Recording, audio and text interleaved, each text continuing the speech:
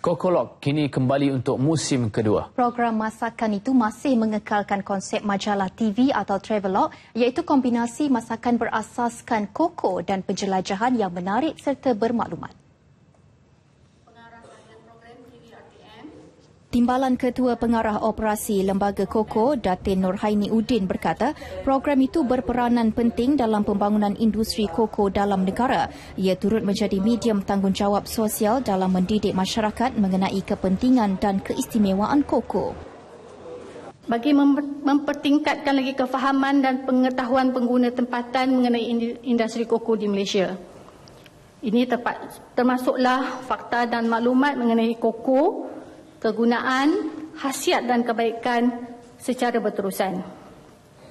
Besarlah harapan saya semoga pihak media akan terus bekerjasama dan menyokong LKM dalam memastikan pembangunan berterusan industri koko tempatan. Beliau menyatakannya pada majlis pelancaran Koko Lok 2 di Auditorium P. Ramlee Angkasa Puri.